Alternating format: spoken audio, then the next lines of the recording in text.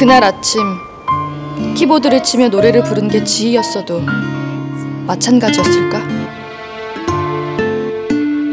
도서관에서 잠든 게 내가 아니라 재경이었어도 마찬가지였을까? 오늘 밤 같이 있을래? 그 순간 꼭 내가 아니었다고 해도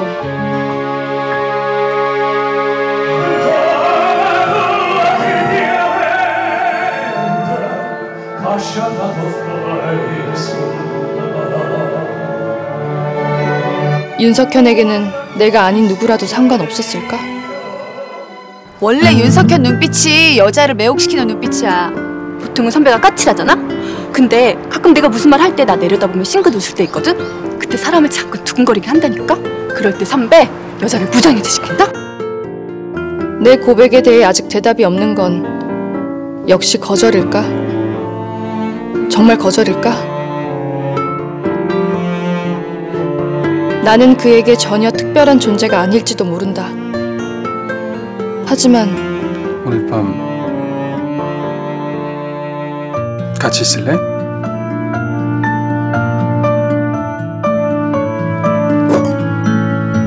혼자 이러는 건 바보짓이다. 윤석현에게 확인해야 한다. 사랑인지 아닌지.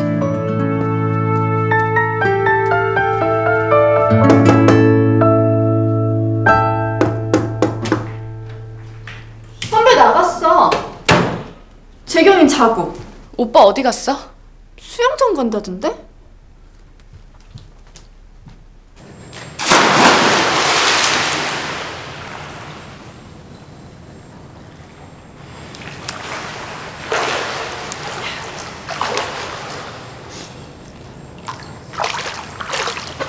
앉았어. 수영복은? 수영하러 온 거 아니야? 그냥 오빠 여기 있대서.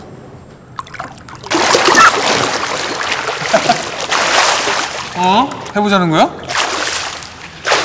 아이 진짜 이게 이게 이거 어때요? 어? 야.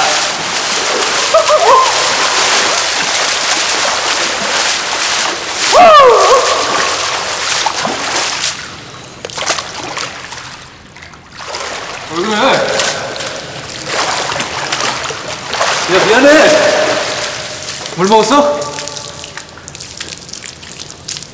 왜 그래?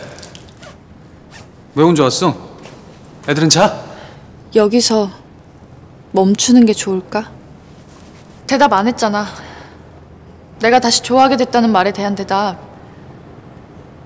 안 할 거야?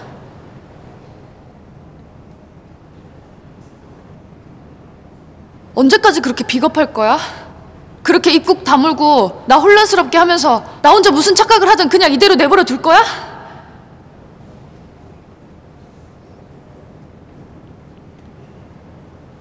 말 안 하겠구나. 거절이야? 거절해도 괜찮댔잖아, 나는. 거절을 해도 이런 식으로는 싫어. 좀 더 분명하게 말해줄 수 없어? 또 입 다물고 있네. 보통 사람들이 잠수를 몇 초나 하는 줄 알아? 35초쯤 할 수 있대.